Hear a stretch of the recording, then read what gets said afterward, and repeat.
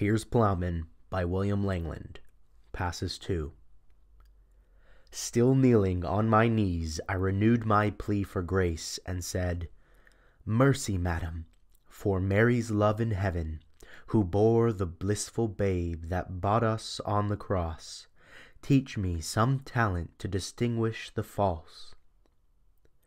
Look on your left side, and lo, where he stands, both false and favell, and lots of fellows of theirs. I looked on my left side, as the lady told me, and was aware of a woman wonderfully dressed. Her gown was faced with fur, the finest on earth, crowned with a coronet, the king has none better. Her fingers were filigreed, fanciful with gold, and rich rubies on them, as red as hot coals, and diamonds most dear of cost, and two different kinds of sapphires, pearls, and precious water stones to repel poisons. Her robe was most rich, dyed with red scarlet, with ribbons of red gold and with rich stones. Her array ravished me. I'd seen such riches nowhere. I wondered who she was and whose wife she might be. Who is this woman, I said, so worthily attired? That is Mead, the maid who has harmed me very often and maligned my lover, Lewte is his name, and has told lords who enforce laws lies about him. In the Pope's palace she's a privileged as I am. But soothness would not have it so, for she is a bastard, and her father was false.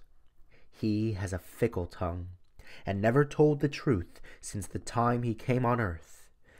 And Mead has manners like his, as men say is natural.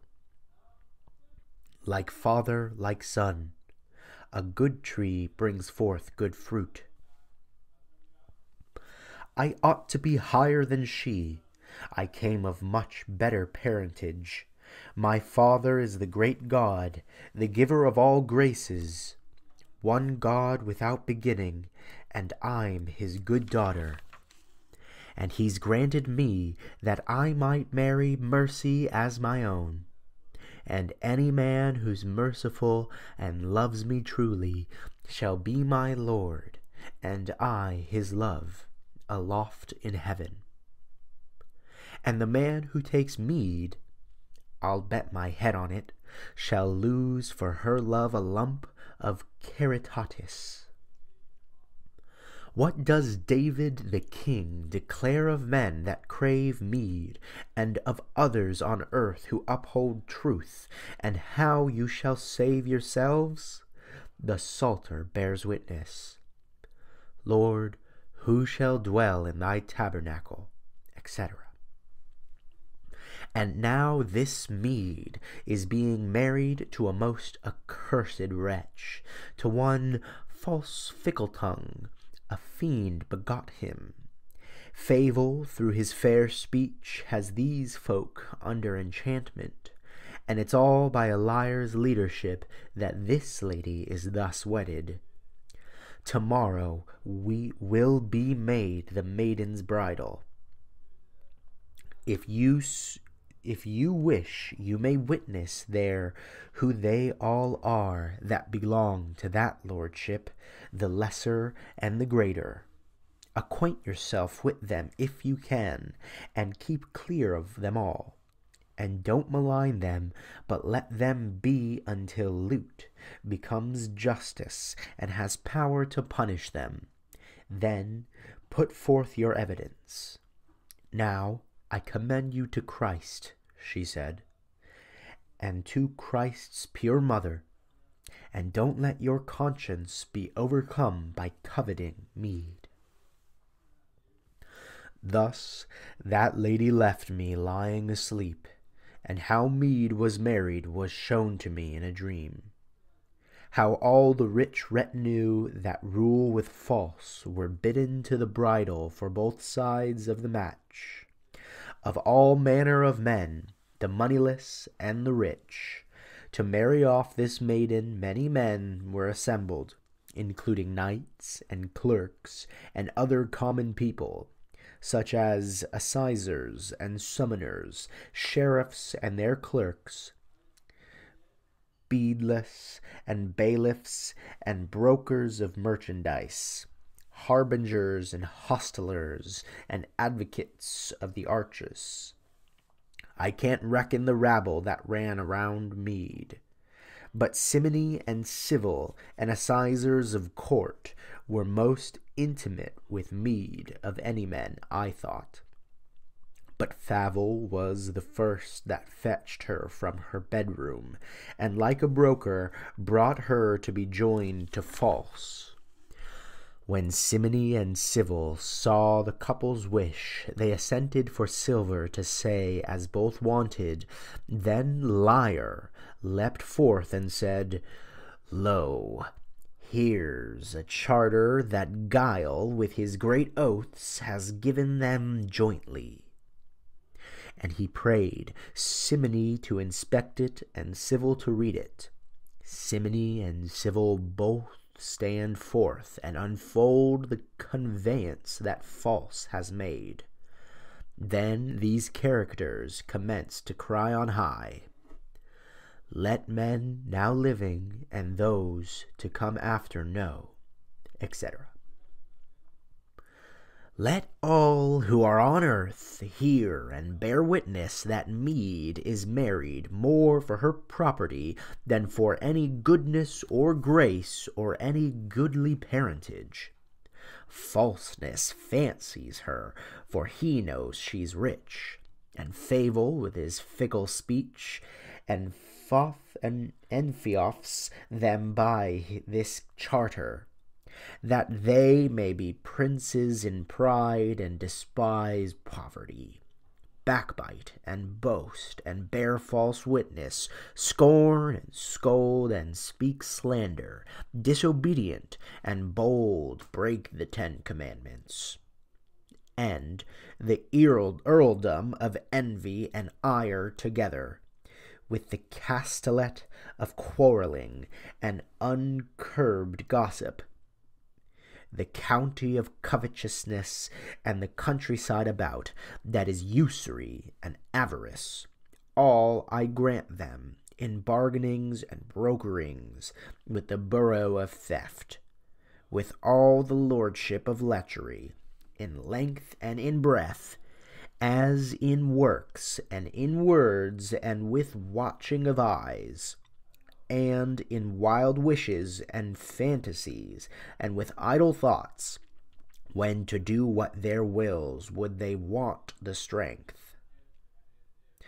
Gluttony, gluttony he gave them, two and great oaths together, and to drink all days at divers taverns, and to jabber there and joke, and judge their fellow Christians, and to gobble food on fasting days before the fitting time, and then to sit supping till sleep assails them, and grow portly as town pigs, and repose in soft beds, till sloth and sleep sleek their sides. And then they'll wake up with wan hope, with no wish to amend, for he believes he's lost. This is their last fortune and they to have and to hold, and their heirs after them, a dwelling with the devil, and be damned forever, with all the appurtenances of purgatory, into the pain of hell, yielding for this thing at some year's end their souls to Satan, to suffer pain with him, and, and to live with him in woe while God is in heaven to witness to witness which thing wrong was the first, and Piers the pardoner of Pauline doctrine, Bart the beadle of Buckinghamshire, Reynold the reeve of Rutland district, Munn the miller, and many more besides. In date of the devil this deed is sealed, in sight of Sir Simony, and with Civil's approval. Then Theology grew angry when he heard all this talk, and said to Civil, Now, sorrow on your books to permit such a marriage to make truth angry. And before this wedding is performed, may it befall you foul, since mead is mulier, amends is her parent. God granted to give mead to truth, and you've bestowed her on a deceiver. Now God send you sorrow. The text does not tell you so. Truth knows what's true, for dignus est operarius, to have his hire. And you fastened her to false, fie on your law, for you live wholly by lies and by lecherous acts. Simony and yourself are sullying holy church. The notaries and you are noxious to the people. You shall both make amends for it, by God that made me. You know well, you wastrels, unless your wits are failing, that false is unflaggingly fickle in his deeds and, like a bastard born of Beelzebub's kindred, and Mead is a mulier, a maiden of property. She could kiss the king for cousin if she wished, work with wisdom and your wit as well. Lead her to London, where law is determined, if it's legally allowable for them to lie together. And if the justice judges its right to join her with false, yet be wary of the wedding, for truth is wise and discerning, and conscience is of his counsel, and knows all your characters. And if he finds that you've offended and are of are of false's followers, it shall be beset your souls most sourly in the end. Civil assents to this, but Simony was unwilling till he had silver for his seals and the stamps of the notaries. Then Fable fetched forth florins enough, and bade Guile, Go give gold all about, and don't neglect the notaries. See that they need nothing, and fee false witness with florins enough for he may overmaster Mead and make her obey me. When this gold had been given, there was a great thanking to False and Fable for their fair gifts, and they all came to comfort False from the care that afflicted him, and said, Be sure we shall never cease our efforts till Mead is your wedded wife through wit of us all. For we've overmastered Mead with our merry speech, so that she grants to go with a good will to London to learn whether law would judge you jointly in joy forever.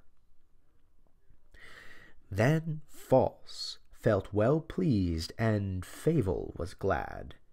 And they sent to summon all men in shrines about, and bade them all be ready beggars, and others, to go with them to Westminster to witness this deed.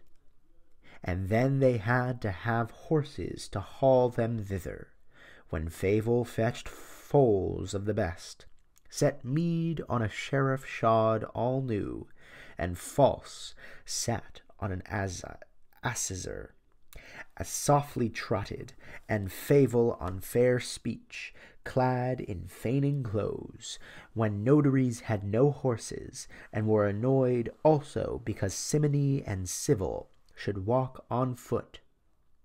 But then Simony swore, and Civil as well, that summoners should be saddled and serve them all. And let these provisors be put in palfrey's harness, Sir Simony himself shall sit on their backs. Deans and subdeans you draw together, archdeacons and officials, and all your registrars. Let them be saddled with silver to suffer our sins, such as adultery and divorce and clandestine usury, to bear bishops about abroad on visitations. Pauline's people, for complaints in the consistory, shall serve myself. Civil is my name and let the commissary be cart saddled, and our cart pulled by him, and he must fetch us victuals from fornicatores, and make a long cart of Liar, loaded with all the rest, such as twisters and tricksters that trot on their feet. False and Fable fare forth together and Mead in the midst, and her serving men behind. I've no opportunity to tell of the tale of the procession, of many manner of men that move over this earth, but Guile was foregoer and guided them all. Soothness saw them well and said but a little, and pressed ahead on his palfrey and passed them all, and came to the king's court and told Conscience about it. And Conscience recounted it to the king afterward. By Christ, said the king, if I can catch false or Fable, or any of his followers, I'll be avenged on those villains that act so viciously, and have them hanged by the neck, and all who support them. Shall no bondsman be allowed to go bail for the least, but whatever law will allot, let it fall on them all and he commanded a constable that came straightway to detain detain those tyrants despite their treasure i say fetter falseness fast no matter what he gives you and get guile's head off at once. Let him go no farther and bring mead to me no matter what they do. Simony and civil I send to warn them that their actions will hurt Holy Church forever. And if you lay hand on Liar, don't let him escape before he's put in the pillory for any prayer he makes. Dread stood at the door and heard this declaration how the king commanded constables and sergeants that falseness and his fellowship should be fettered and bound. Then Dread came away quickly and cautioned False and bade him flee for fear and his fellows too. Then Falseness for fear fled to the friars, and Guile in dread of death dashed away fast. But merchants met with him and made him stay, and shut him up in their shops to show their wares, apparelled him as an apprentice to wait on purchasers. Lightly Liar leapt away then, lurking through lanes belaboured by many. Nowhere was he welcome for his many tales, everywhere hunted out and ordered to pack till pardners took pity and pulled him indoors, washed him and wiped him, and wound him in cloths, and set him on Sundays with seals to church, where he gave pardon for pennies by the pound about. Then doctors were indignant and drafted letters to him that he should come and stay with them to examine urine Apothecaries wanted to employ him to appraise their wares, for he was trained in their trade and could distinguish many gums. But minstrels and messengers met with him once, and had him with them half a year and eleven days. Friars with fair speech fetched him thence, to keep him safe from the curious, they coped him as a friar. But he has leave to leap out as often as he pleases, and is welcome to come when he wants, and stay with them often. All fled for fear and flew into corners, except for Mead, the maid, none remained there. But truly to tell, she trembled for dread, and twisted about tearfully when she was taken into custody.